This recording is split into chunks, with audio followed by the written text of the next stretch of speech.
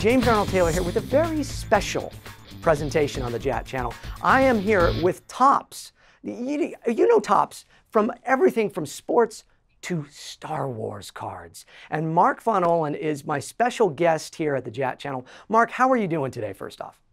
I'm great. Thank you so much for having me. Well, I am so excited. You guys are in New York City, is that right? That's right. We're down in the financial district. Oh my goodness. And, and here we are in Los Angeles. We are doing the whole, like, you know, all over the place. We're wired in to talk about a very special, very important thing. Not just my return to signing with Topps, which has been over 10 years now. Is that right? Yeah, just about. And- Once we were, when we were doing Clone Wars sets when the show was on the air. That's right. First off, let, let's talk about stellar. If I say the word stellar to you as Obi-Wan Kenobi, what do you say, Mark? Well, it's extra special if you do it in the Obi Wan voice. So first off, um, yes, Stellar Signatures is our first ever luxury release for a Topps Star Wars product. Um, a long time in the making. For anyone who might not know, if you're new to Star Wars trading cards, uh, Topps has actually had the license for 40 years. We've been there since the very beginning. Yeah. Um, and so this is our first foray into something really for that collector who's probably been around for 40 years, Mm-hmm. um, who's got uh, a little extra money and like to collect something very special and interesting and different. Yes. Um, and it's one of the reasons we actually particularly chased you down, James. um, we wanted Obi Wan in the set along with our heaviest hitters from the movies and everything. Uh, so this is a autograph only collector set, and it's just autographs. There's no base cards, there's no inserts, there's nothing else, and it's just our uh, top 40 signers from across the entire saga. So you're in good company. Yeah, 40 different signers. I, I, and is it okay to say some of these names here? Like, uh, Yeah. Uh, there, it's some exciting stuff. Do you know, you know who's in there, right? I do, but I. I didn't know if I could start saying names. Uh, Daisy Ridley, right? I Yeah. mean, that, that alone is very exciting. Felicity Jones, Forest Whitaker, Alan Tudyk, one of my favorite actors, just such a brilliant actor, and uh, Carrie Fisher, Billy Dee Williams, Freddie Prinze Jr., Freddie. Yep. Oh and my um, his wife, Sarah Michelle Gellar, better known as Buffy the Vampire Slayer, making her debut in that set. So um, it's a family affair. There's also some other very special ones that are uh, special to me in the Clone Wars world. Um, uh, Ashley Eckstein, yes. Yep. But Tim Curry. Tim Curry, what a fantastic actor. And of course, Tim came in to voice Palpatine in the Clone Wars in the last uh, couple seasons there, the last, because Ian Abercrombie, who was just a fantastic actor and a dear friend to all of us at the Clone Wars, he was he wasn't the emperor. He was he was sweet sweet palpatine to us and we were all clouded by his goodness. But uh, he was such a dear man and when he passed away it's like how do you replace this? And, and what do you do as a voice for palpatine? Well tim curry who is voiceover and on-camera royalty came in and just did a magnificent job and you have him as a first-time signer. Yeah, uh, he is legendary. I mean, you couldn't have done a better job giving him um, the introduction. He rightfully deserves. I think everyone knows Tim Curry from a different movie too. So you kind of ask people what do they love best about Tim Curry, and you're going to get a hundred different answers. Yeah, that's um, true. He he was a great get and someone we were really excited to throw in there as a big surprise. So when we revealed him, a lot of people didn't even know that Tim Curry had been in the Clone Wars because I believe it's only six or seven episodes. Yeah, um, but really he, he really came in and made that role his own without trying to mimic Ian or the other Ian. He didn't mimic Ian or Ian, and he kind of made it his own. That's right. And he did a wonderful job. There's a quick story. I don't know if you've heard this one before, but I'm in there and I'm voicing um, some pickup lines. And I'm in there for about a half an hour. And I'm looking through the glass with where Dave Filoni is. And Tim Curry is sitting there the entire time watching me track these lines. And I'm just like getting nervous, you know. And I go in. That would have made me very nervous. and I, I say, sir, it's such a pleasure. And he, he says, the pleasure's all mine. And what a joy to watch it. He was, he was so gracious and kind and, and lovely to all of us on the Clone Wars. And he, as you said, he did a beautiful job of making the character his own. So how exciting is it that he is on this stellar, stellar package of, and so there is, there's, you say, a hundred boxes? Yep, it's super limited. It's only 100 boxes um, and only 40 autograph signers. And within each box, you're going to be guaranteed a what we call a one of one parallel. Yeah, meaning there'll be a different uh, execution Okay. of the card, a different color or whatever. So uh, we've got a black parallel, an orange, there's a red, and then there are all these other different colors to collect that are sequentially numbered out of uh, 10, 25. Uh, we end at 40 uh, for the 40th anniversary. Man. So um, it's a nice mix. Um, every box will give you something really special and interesting to chase. Absolutely. This is this is something that everybody wants to be watching, and and they should always they can always go to Topps uh, your website. But the, I know you have another one for Star Wars Authentics that we'll talk about as well. But Yep. um, this is stuff that people got to be watching, and that's why we wanted to let people know about it. But there's there's so many other things to talk about here, Mark. We've got Journey to the Last Jedi, right? I mean, That, we- that's the big one right now. Everyone's counting down to December. but, but before that, we had Journey to the Force Awakens as well. Yeah. And and you, you have been so kind to send me some very cool things here. I'm holding up all these, you know, these cards. We'll talk about these in a second. These are the, you know, original. They're so exciting for me because I have been collecting these from Mm-hmm. day one. And uh, I, I wish I had broken out mine, but they're all like encased. uh, you know, all my original Star Wars cards, but maybe the next time we do one of these, I'll have them ready for you to show you my my Oh, cards. I'd love to see your collection. That would be that would be a great uh, video to show everyone what's what's in James Arnold Taylor's card collection. That's need, right. Inquiring minds want to know. That's okay. But so tell us about you know all of these wonderful. So Journey of the Force Awakens as well. This was a this was a very cool collection, and that's still available and, and, and such as well, right? Well, so we started with uh, Journey to the Force Awakens back in 2015 and decided, with all these new fans coming into the franchise with the new trilogy launching and JJ taking over, we've got to remind people like what was done before and get people up to speed and sort of explain um, where we've been and then kind of show them where we're going. So Disney created the moniker Journey to. Um, and so that's been our product theme for the Journey to the Force Awakens. We sort of did a Journey product before Rogue One, and now we've got another one for The Last Jedi. So with everyone in countdown mode to Episode 8, as they ask the questions like, who is Snoke? Um, We don't know yet, by the way, and so, so don't ask us. But we've got um, images and scenes from the film, the trailer grabs, and all sorts of fun artwork from Episode 8 built into this Journey set. Um, and we also structured uh, the base card set to sort of give you an idea of like what you might expect in episode 8 structure wise so there's a summary of the force awakens to just get you up to speed to know what comes next. And then there are three sections to the story. One is all about jedi training which we expect ray and luke are going to do together. Right. um, there's a side adventure uh, for finn and rose. So we've got sort of a hero's journey component uh, to that storyline as well. And then there's also this idea that between Leia, Holdo, and Poe, um, keeping the resistance intact. So we do a summary of the Rebel Alliance and how they became the Resistance over the course of the several movies. So you'll get all that information in the trading card set. So you'll feel like right up to speed when you're ready to buy your movie ticket for Episode Eight. It is so exciting. You know, there's something magical about trading cards. And, you know, obviously you all um, would agree more than anybody, but I just know as a kid holding these cards that have, you know, with the info on the back and the, the look that you've done in, in these ones of recreating the original uh, 1977 Star Wars trading cards is just awesome. And the ones I'm holding here are special to me because you got Clone Wars ones. You were so kind to send me some of these. Um, and I, I, I love all this that you sent, and I think we'll have to do some giveaways here at the Jat channel uh, to help you know spread the word and to get people excited about all this that is that is going on with it. But how you know how cool is that for you guys to remake these cards like that too? Is that pretty fun?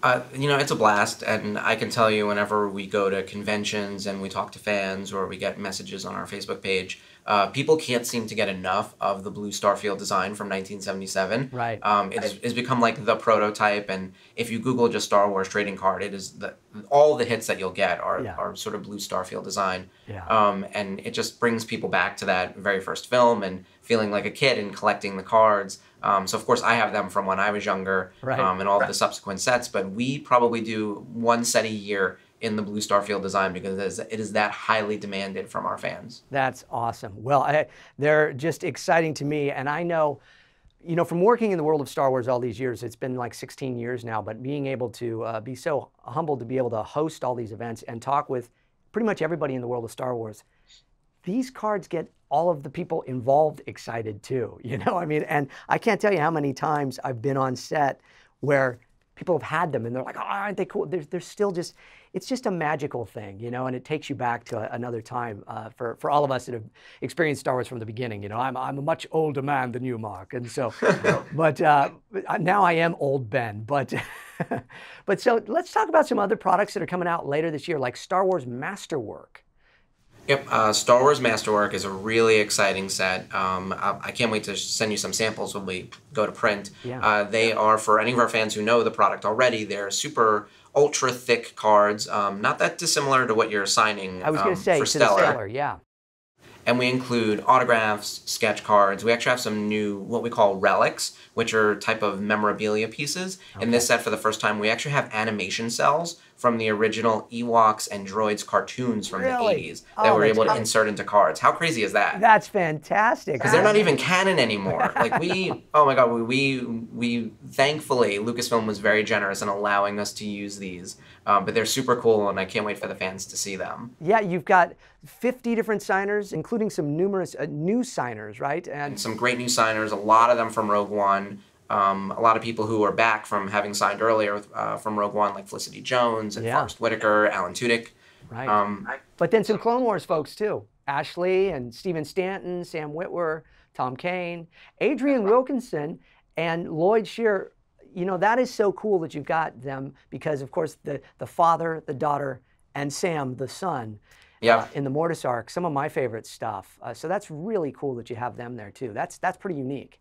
I love the Mortis arc. It's actually my favorite four episodes of Clone Wars. Is that right? Um, Oh. And uh, we specifically chased down Lloyd and Adrienne for that reason. Yeah. Um, you know, Sam's been with us for a couple of years, and we've been really fortunate that Sam has signed as Darth Maul for us. Right. And he signed as the Mortis son. And we actually also had him sign as the Emperor. We were able to squeeze him in uh, Right. from his one episode arc as the Emperor in Rebels. Rebels, yeah. Um, And so then we got Adrienne and Lloyd, and we felt like we needed the whole Mortis family represented in this product. So you'll you'll find all three of them, along with all the other Clone Wars family members that you had mentioned, and maybe a few other surprises coming. Oh, that's so cool. Well, and it's so great. You know, uh, and I thank you very much, first off, for being a, a person that watches Clone Wars conversations. And we, Sam and I talked a lot about this, but the Mortis arc is one of my favorites as well because just the fondest memories in the studio when we were recording those. And Lloyd and I go way back, uh, probably 20 plus years as friends in voiceover. And so for him to come in and be a part of the Star Wars family and doing the voice of the father, and he did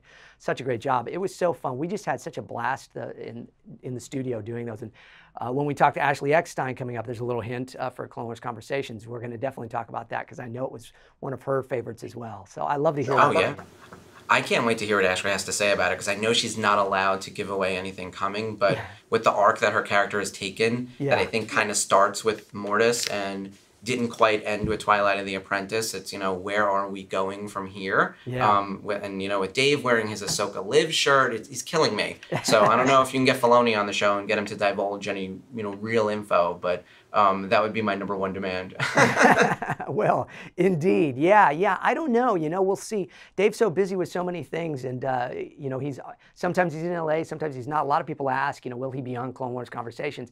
I certainly would love to have him on. I'm sure he'd love to be on. It's just a matter of, of timing. Ashley alone is just like it's is like we're trying to bring the planets together to get it to where she can Yep. actually come in. But she is set up to record an episode soon. But uh, let's That's talk about fantastic. Uh, jumping for a second over to high tech. If I say high tech, that means so many things to different people, but at Topps, high tech means So High Tech is our plastic product. Um, if you're a fan of baseball, for any of the baseball fans out there, uh, we've been doing high tech baseball for a few years now, and it's uh, plastic acetate technology. Um, the cards are uh, beautiful in execution, and I'll send you some pictures. They've got really fun parallels and patterns and colors to chase, and we do all of the autographs um, right on right on card. Um, and it's got a wide list of signers. So with high tech baseball being so interesting and colorful and different and fun patterns to chase. It just fe- it felt like a natural fit for Star Wars. Yeah. Uh, so we're now doing our third iteration already. We launched the first Star Wars high tech in 2015.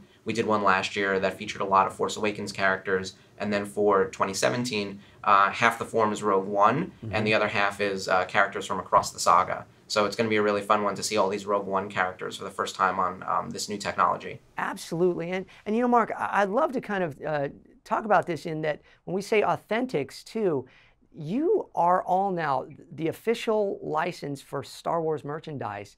That's why, because people will be going, "Wow, how do they have access to all of this stuff now?" This is a, this is a wonderful thing. It's been going on for for a while now, and Star Wars Celebration, the last celebration, was really kind of uh, the, the the big coming out party for this, wasn't it? That's right.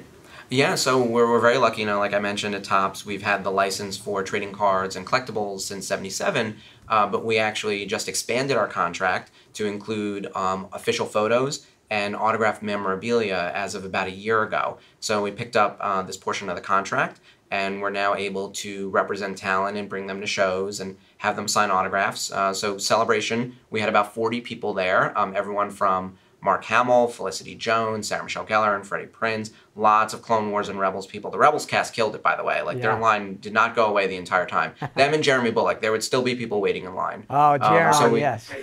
you know, they, they, it was a fantastic show. We had um, autographs and photo ops. And the thing that really differentiates what we're doing with autographs versus um, prior competitors or whoever is that it's a partnership with Major League Baseball. So, you know, Topps has been in the baseball business forever. Um, we have a really close relationship with MLB. They have an arm of their business called Authenticators Inc. Um, that their whole mission is to wipe out fraud in the marketplace. so great. when you came to Celebration and you got an autograph from Mark Hamill or whoever it might have been, um, as he signs the autograph, I'm, I'm doing this with my hands as if you can see. As he signs the autograph, there's someone um, sitting next to him called an authenticator who puts a hologram onto the picture. Um, That hologram has a serial number. You're then able to trace uh, who signed it, when it was signed, and who the authenticator is. And the Wow. authenticator is someone with years and years of law enforcement experience and someone who's paid to sit there and watch and make sure it's legitimate. You know, Mark, I think that that is fantastic. It is so important to collectors. It's certainly important to me as as a signer.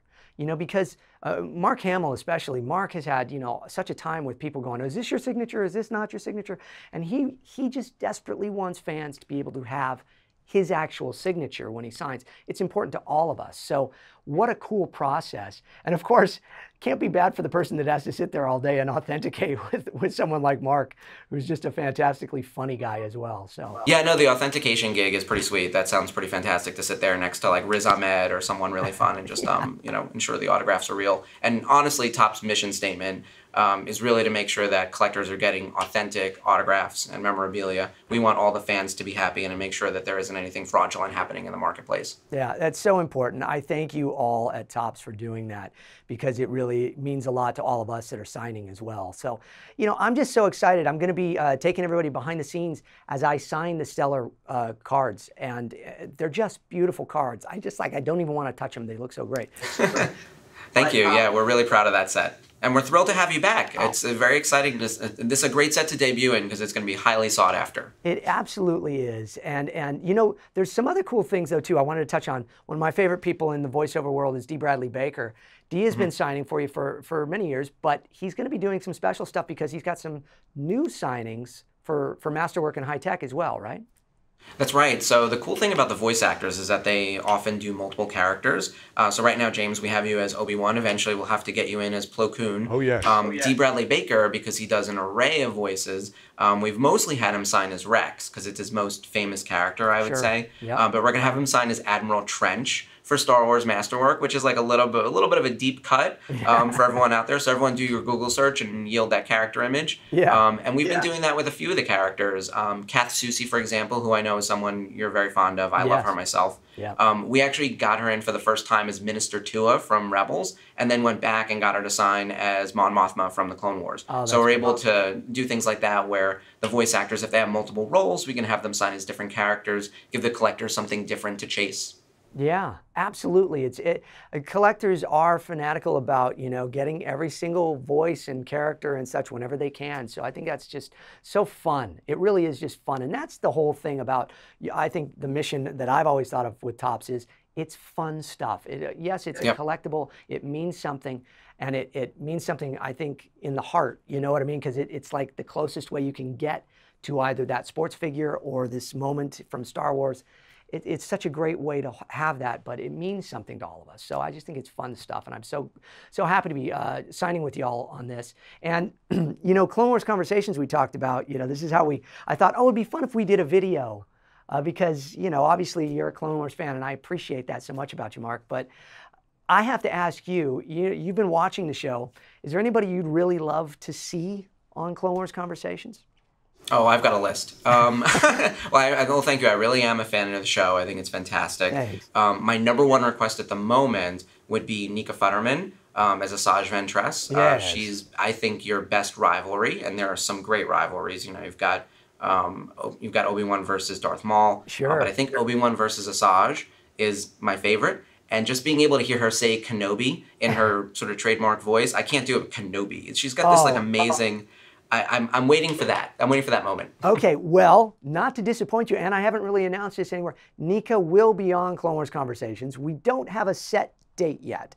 but Excellent. Well, I'm going to take full credit for that uh, should. with everyone I know. So, You absolutely should. You know, my favorite, I mean, because before we ever knew about the Duchess, um, we didn't, we had, we had Obi-Wan and Ventress. So before Obi and, and the Duchess, there was Obi and Ventress in the Clone Wars movie, of course, and we had so much fun there. And I always said that Nika brought me up to another level as an actor because she is so great and it just flows from her so easily. But we've known each other for forever as well. We've played everything from brother and sister to boyfriend and girlfriend as different cartoon characters. So to play Obi-Wan and Ventress for all those years on the Clone Wars was so great because we always had so much fun. And her character is just brilliant. It's the one thing I still desperately wish we could we could see more of Ventress's story mm-hmm. in Rebels or some other iteration somewhere.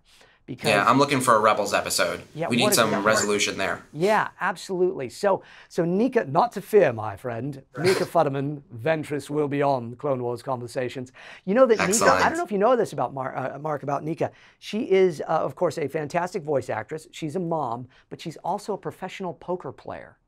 Hmm. And so Interesting. the toughest thing has been scheduling, getting her into the studio here to shoot around her poker playing schedule. Oh wow.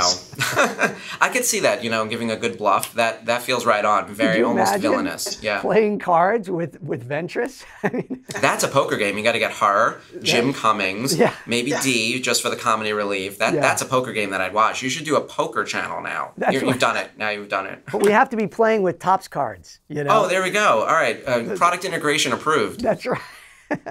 and and when she comes in, we'll have to have her and I sa- sign some cards or something. That would really be fun. We want to Oh, send you amazing. all some special ones. I would want to send some to you specifically uh, as a thank you too. So. Mark Von Thank you so much. I cannot thank you enough for taking the time with me here across the, uh, the, the, the country here. You're in New York, I'm here in Los Angeles, and, and we're talking all about this fantastic new stuff from, uh, from Topps. New products coming out. We got Stellar coming out. I'm going to take everybody behind the scenes now and show them me signing those cards. And we're going to come up with some giveaways for all the fantastic stuff you have sent me. So uh, thank you so much. Is there any, any last words you want to say to all the folks here at the Jat channel? Well, just wanted to say thank you so much um, to you, James, for um, uh, coming back on board and signing with us. We're thrilled to have you. And for all your fans, um, be sure to be on the lookout for some upcoming products from us. Journey to Star Wars The Last Jedi is in stores now. Star Wars Masterworks coming out a little bit later this year. And you'll see um, Obi Wan Kenobi's return in uh, Stellar Signatures a little bit later this year as well. So just want to say thank you again for having me. This was a lot of fun. So much fun. Everybody check out, oh, StarWarsAuthentics.com as well, right? That's right. And um, check out StarWarsAuthentics.com for all your autographed uh, photo needs. Um, makes for a great gift during the holiday season. Absolutely. All right. Well, Mark, I thank you so much. And of course, you know, the force is strong with all of you there at Topps. But I would be remiss if I didn't say, the force will be with you. Always. Thank you, and also with you. all right. Take care, Mark. Please consider subscribing to the Jat channel and watch for an upcoming signing and unboxing video of the new Topps Stellar cards.